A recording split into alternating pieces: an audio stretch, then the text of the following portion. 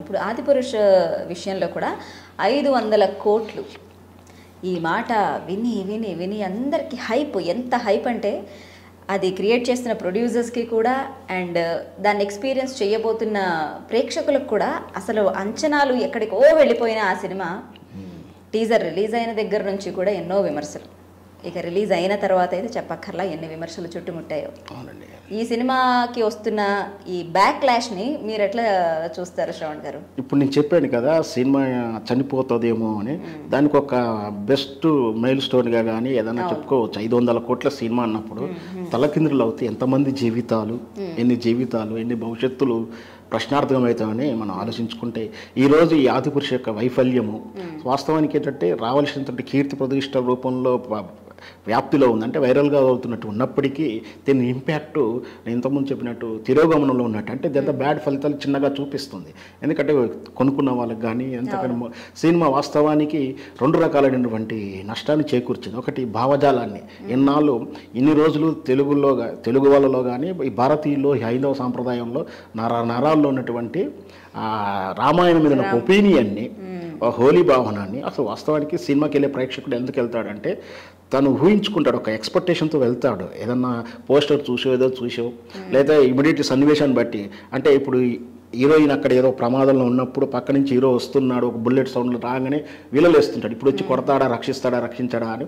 అంటే ఎక్స్పెక్టేషన్తో చూస్తుంటాడు. సినిమా వెళ్ళే ప్రేక్షకుడు ఎప్పుడు కూడా తను ఇది ఎక్స్పెక్ట్ చేసుకుంటూ వెళ్తాడు. వెళ్ళినప్పుడు తన ఎక్స్పెక్టేషన్ రాంగ్ అయినప్పుడు తాను అప్సెట్ ఫెయిల్యూర్ రూపంలో చూపిస్తాడు. అందుకే ఇక్కడ వచ్చినటువంటి అంటే రామాయణం ఉన్నటువంటి అభిప్రాయం మొత్తం కూడా డిసప్పాయింట్ చేశారు. మొత్తం మీద తను ఇన్నాళ్ళు వాళ్ళు చూసిన రామాయణం ఇన్నాళ్ళు తమ కళ్ళల్లో మెదులుతున్న రాముని రూపం సీత రూపం రావణాసుర రూపం అంతా కూడా విభిన్నంగా ఉంది. ఆ విభిన్నం కాస్త కూడా కార్టూన్ రూపంలో ఉండడం కొంచెం అప్సెట్ రూపంలో ఉంది. సో అంతేకాకుండా ఈ సినిమా ఇంకా స్పెషల్ చాలా ఉన్నాయి. ఏంటంటే రెండు రకాల స్పెషల్ ఏ ఇంతవరకు సినిమా ఇండస్ట్రీలో అంతసేపు ఒక మూడు దశలు చూసాం ఏంటంటే సినిమా మీద ఏదైనా విమర్శ వచ్చేది గతంలో. ఆ తర్వాత కొంచెం ఈ మధ్య కాలంలో వివాదాలు వచ్చాయి. ఈ ఆదిపురి సినిమాతోటి దాడులు కూడా జరుగుతున్నాయి సినిమా మీద. సినిమా టెక్నీషియన్ మీద. మనం చూసాం మన ఆదిపురుష రైటర్ మీద మనోజ్ గారి మీద. బొంబాయిలో దాడి జరగడం ఆ దాడికి ఆయన పోలీసు రక్షణ కోరుకోవడం కూడా జరిగింది. అంటే సినిమా ఎలా పరివర్తన చెందుతుంది చూడండి. ఆదిపురుషు తన భావజాలాన్ని ఎంత దెబ్బతీస్తే మాత్రం ఆ దాడికి రావాల్సి ఉంటుంది. తను ఏదో సాధించాలనుకున్నాం. ఉచితంగా టికెట్లు పంచుతామని తన దగ్గరలో ఉన్నటువంటి దేవాలయానికి వెళ్ళడం టికెట్లు పంచుతున్నాడు.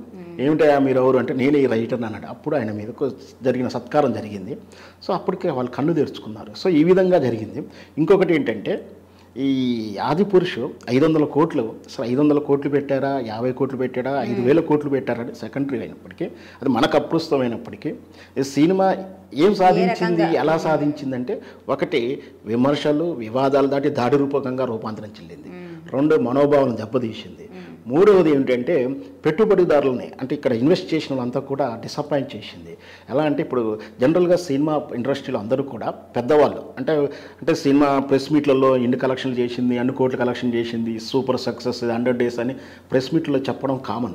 అయినప్పటికీ వాళ్ళ క్యాబిన్లో అంతర్గతంగా ఆలోచించుకునేదంటే ఈ ఫ్రైడే మన సినిమా సహజంగా ఫ్రైడే రిలీజ్ అవుతుంది. ఎందుకంటే. వీకెండ్ వీకెండ్ అంటే ఇక్కడ అసలు గతంలో సాటర్డే రిలీజ్ అయ్యేది దానికి ఫ్రైడేకి వచ్చి- అనుమతిగా వస్తుంది. ఫ్రైడే ఓపెనింగ్ ఓపెనింగ్ కలెక్షన్లు ఖచ్చితంగా అభిమానులు ఎవరో ఒకరు మొత్తం మీద చూస్తారు.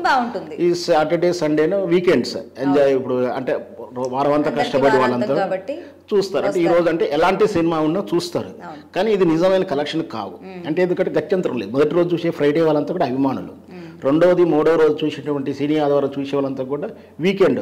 ఉన్న నాలుగిట్లు ఏదో ఒక బెస్ట్ సెలెక్ట్ చేసుకుని పోయి వెళ్తూ ఉంటారు. లేదా యాక్సెసిబిలిటీ కొంచెం దగ్గరగా ఉన్న అంటే కొంచెం ఎకనామిక్ ఆలోచించే వాళ్ళు ఆటోలో పోయే పక్కనే ఉన్న థియేటర్లో సినిమా చూడడం ఇవన్నీ కూడా కామన్ కానీ మండే ట్యూస్డే ఇటు మండే రోజు పరీక్ష అంటారు దీన్ని ఇంకా సినిమా పరిభాషలో చెప్పాలంటే. మండే పరీక్ష అంటే మండే రోజు వచ్చే కలెక్షన్లు నిజమైన కలెక్షన్లు సో ఈ సినిమాకు ఫ్రైడే సాటర్డే సండే యావరేజ్గా వరల్డ్ వైజ్గా కలెక్షన్ చేసింది మూడు వందల ఇరవై కోట్ల సుమారు రఫ్గా అంటే యావరేజ్గా రోజుకు వంద కోట్లు కలెక్షన్ చేసింది. మండే మాత్రం ముప్పై మూడు కోట్లు అని చెప్పి వాళ్ళే డిసైడ్ చేశారు. మనం ఏం చెప్పట్లేదు. నేను చెప్పిన లెక్క కాదు అది. సో ముప్పై మూడు కోట్లు అంటే వంద కోట్ల సినిమా మండే రోజుకి వస్తే ముప్పై మూడు కోట్లు పడిపోయింది. ఎందుకంటే డిబేట్ టాక్ నుంచి ఫ్లాప్ టాక్ దాకా వెళ్ళిపోతుంది.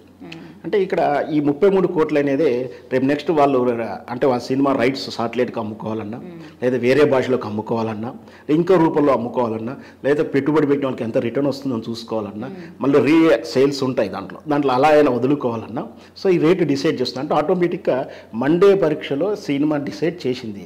ఒకవైపు విమర్శలు వివాదాలతో పాటు ఇంకొక వైపు సినిమా ఈ సంఘం వల్లే సినిమాని బ్యాన్ చేయాలని చెప్పి ఒకవైపు వాదన వస్తుంది నేపాల్లో ఆల్రెడీ బ్యాన్ చేశారు.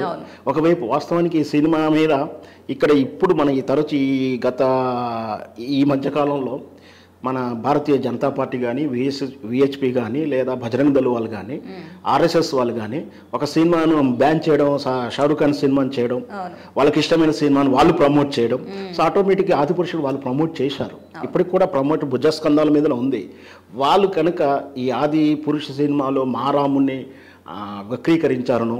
ఇంకేదన్నా అని ఉంటే ఈ పాటికి ఆ సినిమా చచ్చిపోతుంది పూర్తిగా చంపబడుతుంది. అది కూడా మొదలయ్యేలాగా కనబడుతోంది. అదే ఇప్పుడు ఇప్పుడు కొంచెం కొంచెం ఎందుకంటే వాళ్ళకు వాళ్ళుగా భుజాల మీద ఎత్తుకున్న సినిమా కాబట్టి అంత ఈజీగా దింపరేమో అని నా అంచనా. అయినప్పటికీ డైరెక్ట్ నరేంద్ర మోడీ గారికి ఉత్తర లెటర్ పెట్టడం యూనియన్ తరపున రిక్వెస్ట్ వెళ్తుంది.